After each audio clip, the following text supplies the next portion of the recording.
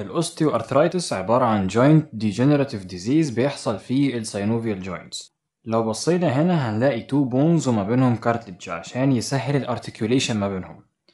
اللي بيتحكم في ال cartilage هو الخلايا اللي اسمها chondrocytes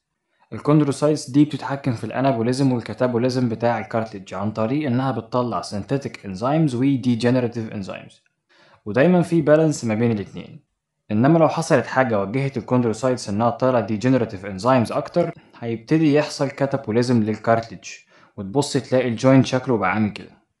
طيب إيه الحاجات اللي بتخلي ال chondrocytes تمشي في سكة ال catabolism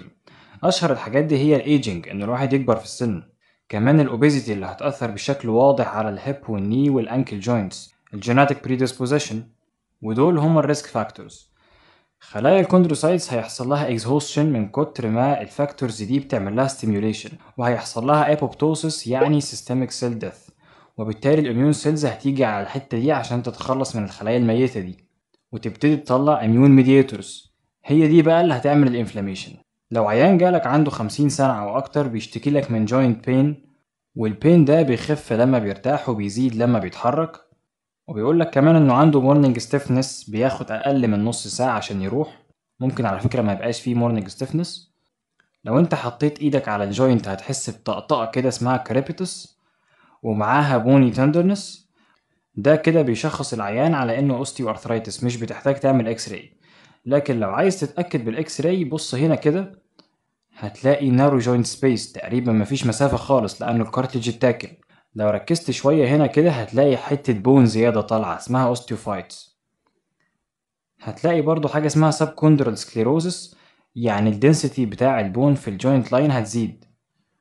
وفي المراحل ال late هتلاقي كمان subchondral cysts لو بصيت على ال hand هتلاقي ال distal interphalangeal joint affected وال proximal interphalangeal joint affected بال osteophytes كمان هتلاقي ال carpometacarpal joint affected بص على ال hand من بره فوق خالص هتلاقي swelling اسمه Heberden's nodes تحت شوية هتلاقي ال Bouchard's nodes وكمان هتلاقي squaring في ال base بتاع ال thumb